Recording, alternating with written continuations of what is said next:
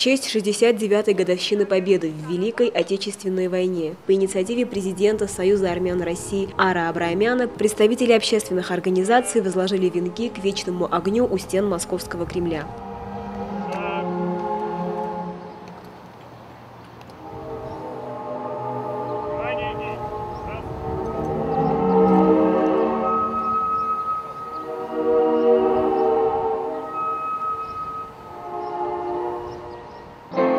День Победы в праздничном календаре Союза армян России имеет особую важность. С первых дней основания организации руководство каждый год организует почетное возложение венков к могиле неизвестного солдата в Александровском саду.